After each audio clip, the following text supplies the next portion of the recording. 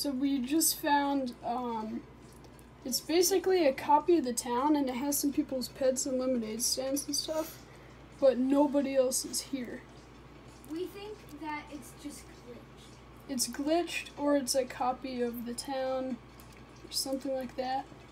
Uh, yeah, really weird flew though. in right from my house. Yeah, he flew in right from his house on his fly ride, and I followed, and this is crazy. Make sure to subscribe for more clips.